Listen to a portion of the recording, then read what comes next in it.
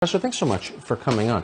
So this all seemed kind of predictable. It's not a defense of Putin to say this was stupid. It was stupid. Now they're admitting it's stupid. Will anyone ever be punished for this?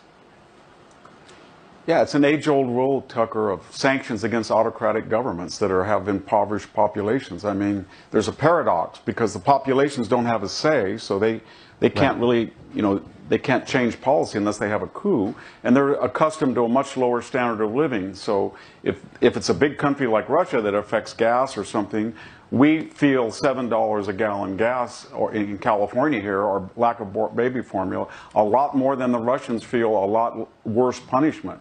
These are people lost 20 million in World War II. So th there's a paradox, and the, the solution was always in these Russian-speaking areas that are contested to deter him not to go further and then to have a plebiscite and see if they want to be with Putin or Ukraine. And how you get there is to resist his aggression, but the only way the Ukrainians are going to win very quickly is to do things that are unthinkable to a nuclear power, and that would be give them sh uh, shore-to-ship weapons to sink the Black Fleet, as people have talked about, or take out more Russian generals, or conduct raids in Russia.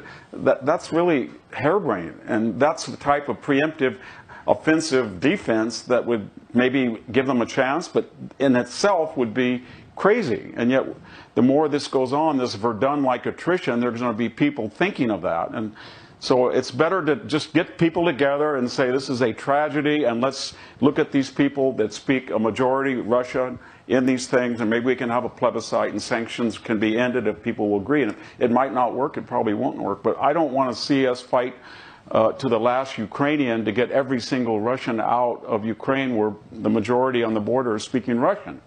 And that's not to excuse uh, Vladimir Putin, but we've no. got some really crazy people saying crazy things about a very ill dictator who's got his finger on 6,000 nuclear weapons aimed at the West. So reckless, it's unbelievable. so nicely put, and Verdun-like is, is exactly right. It's terrifying. Victor Epstein, thank you so much. Yeah. Thank, thank you.